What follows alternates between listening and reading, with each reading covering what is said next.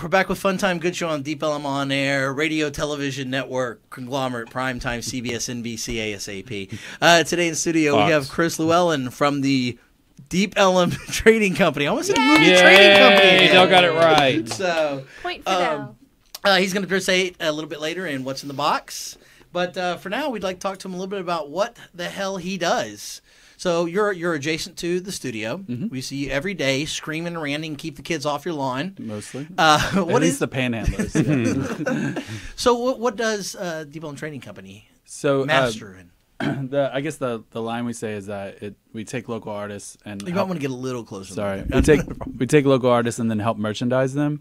So that benefits a bunch of projects in the neighborhood, like the urban gardens, the mural projects. There's a the suicide prevention, the 45 fund that we work with too, and then um, and there's a few new projects that are starting up. But yeah, it's kind of like the monetary arm that kind of helps out. And It sounds like we need to get in touch. with you. We're, we're horrible at merchandise. yeah, yeah, yeah. So that's what I did for years, uh, probably 15 years. I screen printed and did band merchandise, and Yeah, where did you get your start? so um, I used to tour with this band called Reverend Horton Heat, and uh, Oh, I've never heard of them. No. what did you do with the heat? uh, I sold merchandise. So, Oh, okay. So I used to work I've at a probably rec- bought T-shirts yeah, from you. yeah. bro. so I sold. Uh, I worked at a record label for a while, and their guitar tech worked Which there. one was that out of curiosity? Last Beat? It was. I know Last. Beat. Yeah. very nice. They did. uh They did Chomsky and Rubber and uh, Rubber Bullet back in the day. Yeah, yeah, And Pink, yeah. Pinkerton. Yep, Pinkston. oh, Pinkston. That's yeah. Wife of uh, Vaden. Yeah, ex-wife Vaden was- yeah. So great bands too. Yeah, yeah. Um, uh, wasn't Baboon on there as Mhm. well? They oh, did- they did if you've never seen Baboon, everybody at home, they they still occasionally play shows. Yes. It's amazing. You can't find a better band to No, go see no. live than Baboon. And one of the unfortunate things is they could never capture that on a on an album. No. and it was one of the them and uh, Brutal Juice were the same way. Like Yeah. you could never do it. And uh, and then the closest thing to it is John Congleton. He was from the Paper Chase, and he's Yeah. done a huge amount of albums now, and he's like a Grammy winning guy now. And uh, but he got the right album for them. It's it's like an EP that they did, and it's beautiful. It's it's awesome. So Wow. So you've you've definitely had your hand in Deep Ellum for a while. For years, And, yeah. and your dick in Deep Ellum from what I've, I've A heard too. bit, a little bit. Uh, he liked dipping in just the tip. uh, so you went from there. How did you kind of roll into doing your own your own business? So um, from that, like uh, the the hard part about touring with bands is that you have to um find a job when you get home, and so so during that like three months or two months or three weeks or six months, I had to figure out something to do, and that was like the natural thing. So I had a big client already that I could kind of use to kind of I guess uh, make my income kind of steady, and then and then I had a bunch of friends because I used to do comps and and stuff like that around, and uh, and so that had a bunch of bands, and so probably within a year I had like 40 bands that I was doing, and then after that, you know, it just kept stepping up and stepping up, and then my biggest client was uh, Hank Williams III. and- Oh, I love Hank Williams. yeah, and then um, and The then- third. I mean, yeah. I love Hank Williams too, but I guess I should clarify. And then uh, uh, Super Joint Ritual was this band that was on Ozzfest that had uh, Phil Anselmo in it, and so and Hank Three, and um, so Wait, in the same band? yeah, them two, and then uh, the drummer for Eyehategod was in it too. Wow, that's an odd. Okay. Yeah, yeah. Well, Shel- it's not that odd because Shelton is Hank Three, and he they do like a half speed metal set and half country set, so it's kind of it makes sense. I don't you know believe that. I've ever heard that. That sounds like something I'm going to have to get into. Yeah, That's so, awesome. So anyway, so from that, um, it built up, and then um, I had a uh, kind of like a. I put all my eggs in one basket. Everything crashed, and then and then uh, I ended up getting a second job, and then that kind of spun me out down here. So, so and that's that's what I'm doing is I'm running a, a t-shirt shop out of there too, uh, or my screen printing shop out of there as well, and then and then that's helping me do this full time. do you do anything other than t-shirts? I mean, you said merchandising. So what is generally, So- for, uh, let's say for the people that don't know what merchandising is, what wh- what does that fall under? What does that cover? So it's really anything with that you can sell, like either at a merch table or at a booth or whatever else, and it's not really with. So it even goes with prints, you know, and and uh, up to like some of the things that we're developing, like um, bottle openers or coasters, or or um, there's an axe that we're gonna uh, make a coat hanger out of. So, um, but those are all branded or developed around someone's art. So, um, so either using um, elements of that art into the the thing, or using that as an influence to what we um, to what we make, is kind of how we're trying to do it. So we take a local artist, build all this merch around them. Now they have a wholesale outlet. They also have a way to get income, and then they also have a, a way to popularize them and teach them about all that. And they take the four hundred dollar painting that what they would have only got four hundred dollars out of, and make something that they can get. So you do handle groups besides a band. You know, you handle artists. I guess shows, stuff like this. Anything that really wants to brand itself and So with the Deep Ellum. Trading Company, it's all about artists. It's only about artists, and and I'm taking the knowledge from what I've known before and applying it to just that. So it's strictly art. Okay, so anything- no bands now or No, something like that. anymore, But you do the T-shirts and stuff for anybody Yeah. that, that wants Yeah, yeah. them. Okay, that's cool. So So where are you hoping to kind of take this? So the Guys who are co-hosts, feel free to ask any other questions. You've actually asked decent questions Yeah. today. That's kind Wow. of uh, uh, unnormal. So the goal the goal is to um, step up uh, the store into what it is now, into a mobile store as well, and then go into a web presence. So we'll build a brand called Deep Ellum Texas. That'll be like an entry level um, artist brand. So that will kind of popularize the neighborhood, um, and it's all from the community association. So the goal is to be a um a promotional tool for the neighborhood. So and and and if we can kind of become like um, that neighborhood in Miami or the Brooklyn one, stuff like that, the, where we can kind of get it to where these artists are known as these Deep Ellum artists, right. and it helps just helps being associated with us. As a man who came from Deep Ellum back in the day, you know, the '90s, and if you're talking, you know, Last Beat Records and stuff like that, you were Right. you were around here at the same time when I was back here playing. Right. What, what what's your feeling on how what Deep Ellum's kind of gone through? I mean, I remember there was time Friday or Saturday nights where you could come down here and you could get stabbed, mug, or have the best night of your life watching ten bands. Yeah. And you could walk down the street and see goss, people dressed as vampires, ravers, and it was packed. And for a while, they didn't even have the police. It was just, y you know, it was shoulder to shoulder people who wanted to see artists, musicians. Um, unfortunately, some of them wanted to come and punch out other people too. Right. Um, then there was, you know, where they had to bring in all the cops Mm-hmm. after there. I think there were like three shootings and two, something, Yeah, something yeah. like that. Um, and now it's, you know, it was a ghost town for a while. You know, Yeah. I come down on Friday, Saturday night. And it was so depressing to me as a guy who came from the '90s. You know, you could book a show at Liquid Lounge, and you're guaranteed to have hundred people stopping and watch you just walking by. Right, right. Um, but how do you feel? Is there? I, I feel like there's a little bit of resurgence coming back. I see newer clubs opening. Right. Um, it seems like it's a little busier on Friday or Saturday nights now. How do you feel as a the the history kind of of what you've seen? What do you think? So it's a it's become a different element that's here. So you ha- you still have your kind of nightlife and and all the kids that grew up here during the 90s and the 80s and stuff still have that element here. So that's there's punk rock bands, there's uh, hardcore bands, there's metal, there's um, artsy bands, and there's art galleries, and all that nightlife is still here. It's not gone anywhere, and it's bigger than it was. Yeah, I guess the I guess I got the feeling that people for a while were scared of coming. That was that was or- totally a thing. So in after the drop, you know, it got really sparse. A lot of people moved out, trees shut down, stuff like that. But um, Well, there also used to be more living here. I mean, there were a lot of people lived in Deep Ellum, so it was, hey, I'm going to go to watch clubs tonight. I'm literally going to walk two blocks, get tipsy, and just walk home. And, Right.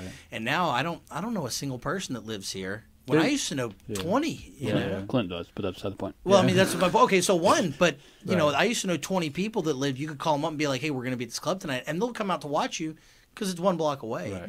You know. there's so there's more of that now because they built the the new buildings and stuff like that, and then uh, and then I see it all the time because I'm involved in the community association. So those are the people that I deal with every day. So there there are tons more people down there than I feel living down here than that were because of like the new developments of the lofts and things like that. So- One of the interesting things is I was talking to, um, I guess until about a year ago, Barry ran the Deep Ellum Foundation. Yeah. Um, and I'm I'm friends with Wit and some of the guys at the Curtain Club. Yeah, yeah. And surprisingly, what they told me was the one thing they they saw as as business owners that kept causing problems was the opening of dance clubs because that started bringing in an element of the people that kind of wanted to get drunk and fight. It wasn't they weren't artists, they weren't musicians, and they actually as as hard as they could started trying to get ordinances passed where if you weren't performing live music, they were trying to actually keep you out of deep Ellum if you want a bar.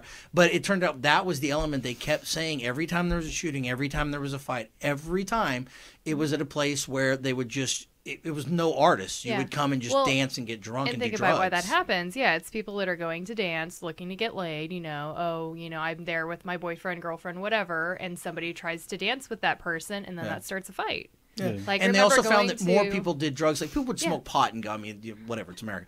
But they found that dance clubs there was more cocaine use. Mm-hmm. Uh, whenever they would get raided, you know, they there would be cocaine. It'd be harder drugs, heroin, and stuff like that. Where at the Ecstasy. ecstasy, where at the club, you know, at the the live music venues and the bars, it was you know best pot.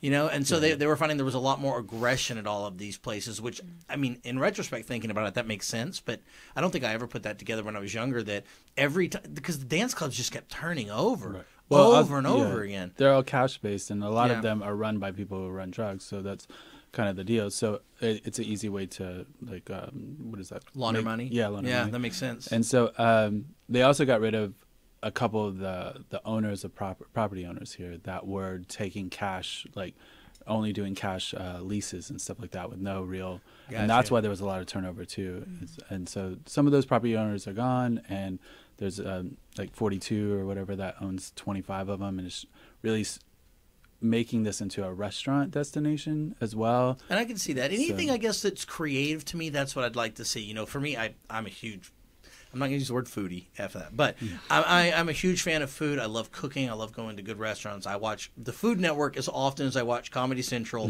or brutal slaying videos on the internet um, or abortion videos on the internet. So let's keep up. There's a motif. There's a theme going today. Let's keep that going. Um, and so I'm, I, you know, I don't have a problem with that. I want it to be a destination for when people want something interesting, creative, or unique. You know, this should be an area. Yeah. Um, Deep Ellum kind of arose originally, from my understanding, as a place where people just happened to go for music. It was a place the cops didn't come, so uh, this was a big black area for a long time. Um, and so this is where they kind of congregated. They were able to open their own bars and their, their own music, and then a lot, you know, more white artists started to come in. Um, but there wasn't a conscious decision of let's make Deep Ellum an artsy, creative place. It just kind of happened. Then when there was that kind of collapse in the late '90s, early 2000s, um, I think it caused a lot of people in the area to focus on, you know, what do we want this area to be? And now there's a concerted effort to, we, we want this to be an art district. We, we, you know, we want the high, maybe the high art you would call it, down off Ross, you mm-hmm. know, at the Wyly Theater and stuff like that. Right, right. And this, you know, I don't know if you'd call it lowbrow art. I mean, I certainly right. Well, would, yeah, yeah. but more the blue collar Right. art. Right. Mm-hmm. And I, I like that there's a concerted effort. This is what we want. We want this to be an area where people on Friday or Saturday, hell, every day of the week, to come and, and come see artists, come see musicians, come come try good food, culinary art. You know, and I, I think that's cool because it's giving us a mm-hmm. real direction of what we want to do. I mean, well, producing shows, you know, down here. Um, I, it's it's nice to have a goal because then you know where you're going, mm-hmm. and it's people seem really active in it, you know, and very protective now of Deep Ellum, where I don't think maybe even 15 years ago they would have thought about it as something that needed to be protected. Then we have Deep Ellum Preservation Society and Right. Deep Ellum Foundation, and I just. I just I hope in ten more years we're back up to where we were with the number of people, but with a better idea of what we want to accomplish. Yep.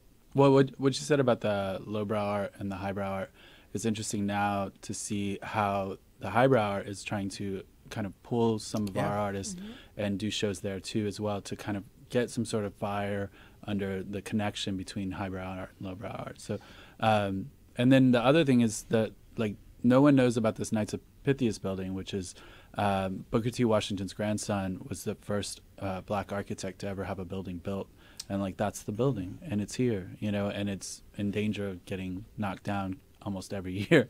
but Have they uh, not marked it historical? it's historical now, but there's, I mean, West, I believe Westdale owns it now, Mm-hmm. and so they're gonna try to kind of resurrect it into this hotel, a boutique hotel, and some parking and, and a big grand ballroom. Yeah, I believe even if something's historical, by definition, it has to serve a function or a purpose. Like that's why there's the historic houses on Swiss, but people actually live in them, or they rent them out for like weddings and stuff. Right. I think that, but there's like a federal law that says anything sitting on land has to be used. You mm-hmm. like there's a law that says you can't just buy land and sit on it waiting for the price to increase. If you, it's like seven years, if you don't do something, Yeah. anybody can come in and buy it from Well, you. it's For not- the So we can like- take over Congress now. Hot damn. but it sounds like that building would be perfect to turn into, you know, like maybe a museum for this district. That Have would that be- an, I would not love to have a but Deep an art museum. gallery- That or an would be art gallery. You know, Yeah, it'd be beautiful. Yeah. or move the Deep Ellum Trading Company into it. into it. That'd be great too. So out of curiosity, throw I'm the sure eight-track Chris knows museum in there? this, but uh, does anybody where, know where the name, the, at least the story behind the name Deep Ellum? No, Nope. really? I don't. Chris, you know this. Yeah, yeah. Okay. So it's like he was saying that the the people would say, "Hey, where do I go buy my uh, see bands or go buy my drugs or where are the prostitutes at?" and they would Mm-hmm. say it's deep down on, on Elm. But they would say deep, El- it was Elm, Elm and they would Street, say in. Elm Street, and they say Deep Elm, and it Ah. was just kind of a, a misuse of the name. And this just Very meant cool. further away from the downtown area. This Yeah. is considered like we say Lower Greenville or Lowest. They would call this Deep Elm, and then Whitey turned it into Deep Elm. Deep Elm. Took it away from the Black Beauty. Again. so um, It's ours now. You can't have it back. like rock and roll, rap, everything. yeah. Everything good we made. Now our own. everybody knows black people didn't invent rock and roll. Marty McFly did. He took that right away from them. So, and Forrest Gump took everything else that blacks did in history. So, um, well, I'll tell you what, Chris, it's been wonderful having you in here, and, and it's nice to meet somebody else that's been through the some of the history that I have around this place. Yeah, I mean, yeah. I, Deep Ellum's part of my heart. Like Yeah, I'll, I'll never not love this place. I grew up here. My, uh, I think our first show we ever played was like Lowest Greenville, but other than that, the Liquid Lounge and Curtain Club been my home for years. Right. You know, and even when I started playing by myself a couple of years ago, not with myself, by myself, um, Or both. co- on stage. It's performance art, people. Leave it alone. uh, you know, Liquid Li- Wit and Liquid Lounge gave me a, a start again, right back on weekends with no with no start. And so I got I just got to give love to them and everybody down here. Really, I mean, how many great bands have I seen at Trees Right. It's over really the good. years? So. Uh, long live Deep Ellum. I'm very excited. Yeah. Now it's time for uh, a little game we like to play called What's in the Box? What's in the box? What's in the box?